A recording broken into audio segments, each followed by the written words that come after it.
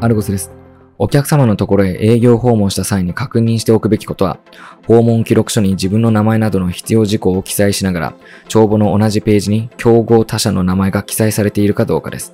訪問した会社にライバルがすでに訪れている状況かを確認することができます。それによっては当日の営業トークの内容に多少の変更を加える必要も出てくることでしょう。